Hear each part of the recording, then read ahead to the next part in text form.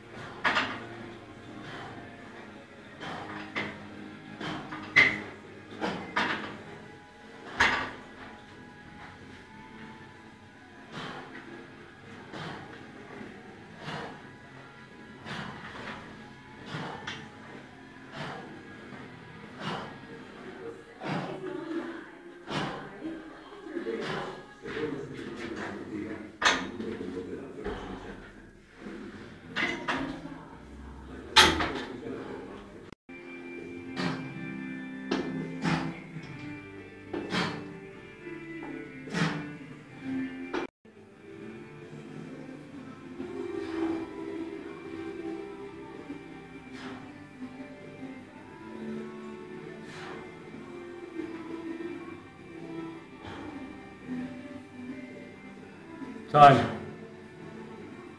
Nyt on yhdeksäs päivä takana. Tänään on ollut How many rounds of sparring? 20. 26. 26 erää on otettu, otettu sparria ja Paulon kopion Adamin tyyliä ja, tyyliä ja sitten miksannut sitä omaa, omaa nyrkkeilyä siihen, että on joutunut koko ajan miettimään mitä tehdä, mitä tehdä seuraavaksi, koko ajan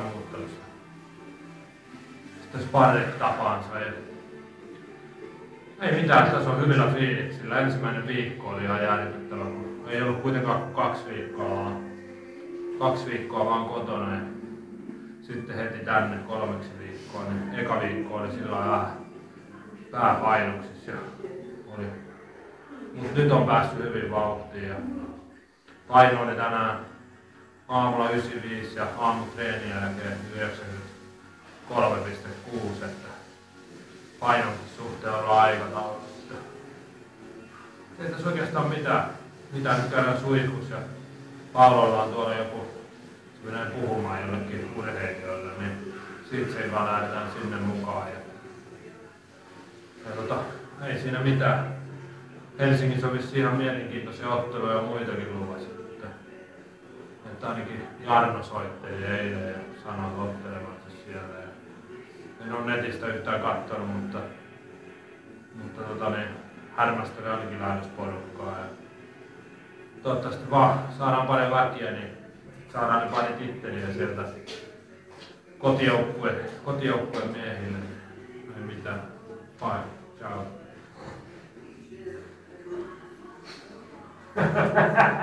No,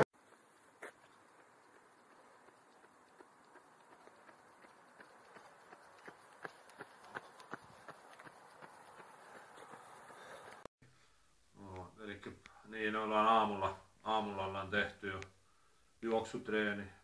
Jalat on ollut vähän kipeänä siitä punttitreenistä ja muuta, mutta aamulla oli semmonen palauttava lenkki puoli tuntia ja siihen neljä erää, erää pistareita päälle ja tosiaan nyt, nyt on vuorossa sitten sparri. Kyllä nyt sparrit alkaa. No, Robi ja Paulon kanssa. Tarkoitus olisi ottaa 6-8 ja Robi, Robi, se next high. Robi, Robi. No niin, sparrit on ohi ja... Sparrit on ohi ja... Enää venyttelyä. Vailla valmistaa treeni. Siinä oli Paolo kopioi hyvin Arramin tyyliä ja pisti tosi, tosi ahtaalle meikäläisen tuossa sparrissa. Sitä Robi toi omalla nopeudellaan siihen vielä lisämausteen sitten siihen loppuun, että piti pysyä terävänä siinä. Tää on kovaa touhua. Ei voi muuta sanoa muuta kuin yksi asia, minkä mä haluan sanoa, niin ennen kuin mennään mihinkään nyrkkeilyyn enää, niin Haukkalan Markolle ja nykyiselle Haukkalan Hennalle terveisiä. Onnittelut hääpäivä johdosta, joka oli lauantaina. Ei kai tässä sen kummempia. Huomenna jatketaan ja koitetaan saada materiaalia, materiaalia sinne Pekalle, niin pääsette kaikki nauttimaan. Ehditään nähdään viimeistään syyskuussa. Ciao!